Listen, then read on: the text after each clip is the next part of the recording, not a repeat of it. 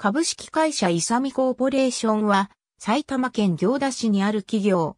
学校や企業の制服、体操着、旅の製造を手掛ける。埼玉県行田市向町2番6号に本拠を置く。行田旅で知られる行田において、1907年3月に旅メーカーとして創業。同業者がひしめく中で、イサミ旅は後発であったが、江戸時代の歌舞伎役者であった尾上松禄をトレードマークに映画のチケットを商品に添付するという営業活動を展開した。川端康成はその様子を小説で触れている。1927年、医療品の製造を開始し、1942年に法人化した。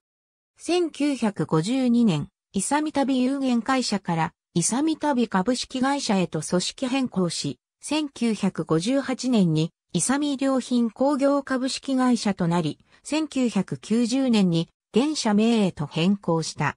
体操着の製造は1959年に開始。サミーはイサミコーポレーションの登録商標である。2003年には、青柳スクールメイト株式会社と提携を結んでいる。2017年のテレビドラマ、陸王では、行田市内のスクール工場でロケーション撮影が行われ、劇中では、小ハゼ屋の外観として用いられた。スクール工場 ABCDE、会社概要、会社遠隔、イサミコーポレーション、2021年1月10日閲覧。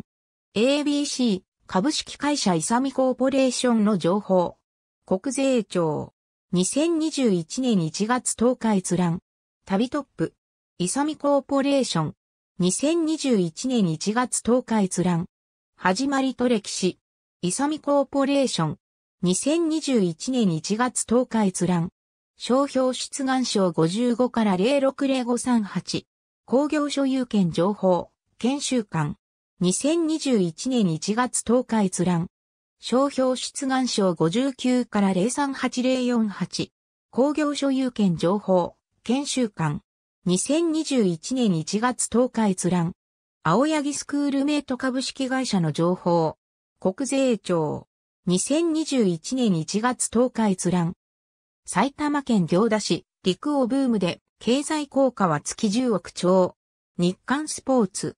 Https コロンスラッシュスラッシュ www.nikkansports.com スラッシュエンターテインメントスラッシュニューススラッシュ 201712400034.html2021 年1月10日閲覧。